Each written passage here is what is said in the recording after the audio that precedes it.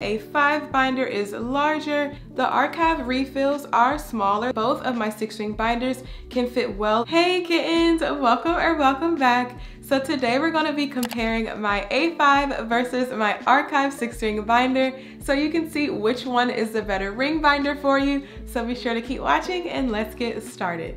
So first we're going to compare the sizes of the binders as well as the binder refills. So my A5 binder, which is on the left, measures 6 and 7 eighths inches in width by 9 and 1 4 inches in height and my archive binder on the right measures about 5 and 1 4 inches in width by about 7 inches in height.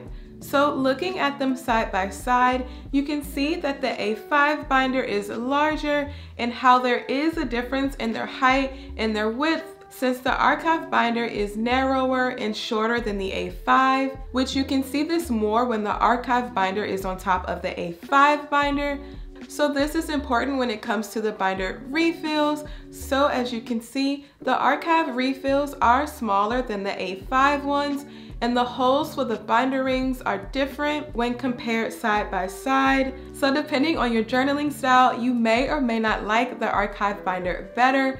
Also, the binder ring mechanism is shorter in the archive binder compared to the A5 binder, even though both have binder ring sizes of about 19 millimeters, which equals about 0.75 inches. So next we're gonna compare the pricing. So both of these six ring binders are actually from Durunaru and these are the Lucalab composition binders. So my A5 binder cost about $28.98 and I purchased it with a PVC glitter cover and this binder also features an elastic band. And for my archive binder this one cost about $22.40 and it also featured a glitter PVC cover and an elastic band as well. So just remember the price will vary based on the store that you purchase it from, your budget, and if you buy the binder by itself or not. So now we're gonna compare the functionality of both six ring binders.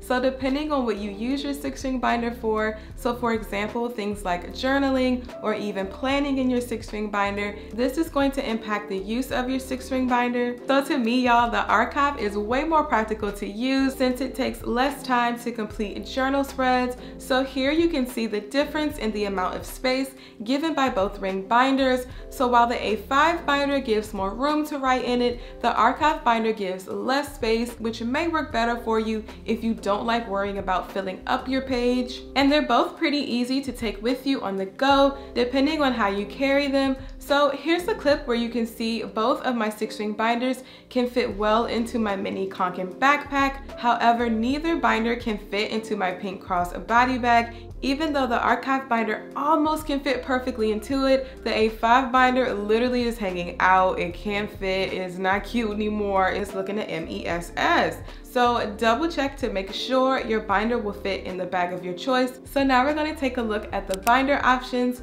So the A5 binder actually has a few stores with a good variety. So for example, Mochi Things has A5 binders that are clear with glitter on the cover. Others have a zipper closure on them and even some have a leather material for their covers. Lucalab also has some A5 binders, however they call them diaries. So these are composition themed like the one that I have.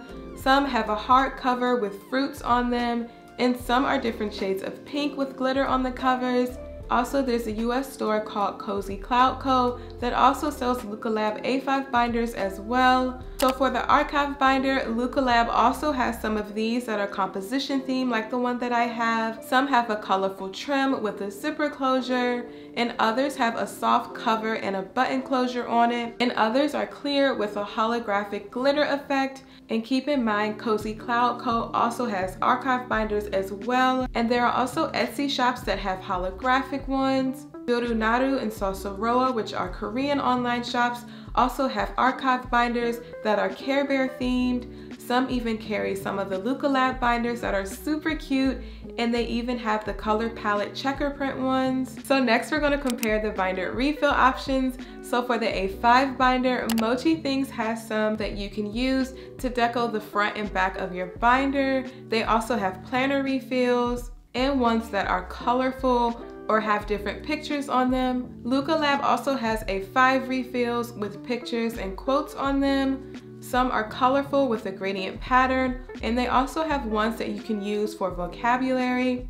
Etsy has some shops that sells A5 refills that you can use for planning or even ones you can use for storage. And if you guys don't know, I have some really pretty colorful ones from an Etsy shop called Paperqualia that I think are super cute. So for the archive refills, there are online stores like Lucalab that have some like the A5 binder that are colorful or have pictures with quotes on them. Others are a vintage computer theme. And keep in mind, Cozy Cloud Co. as well as Durunaru has Lucalab archive refills as well that you can check out. Also something interesting I noticed was when I went on AliExpress to search for archive refills and they actually brought up A6 refills. So be sure to let me know in the comments below if your A6 refills work in your archive binder since I tried this with my archive refills y'all and it did not fit properly into my A6 binder. So when it comes to which six ring binder is better, it really just depends on the purpose you have for your six ring binder. So if you want to use it for things such as journaling,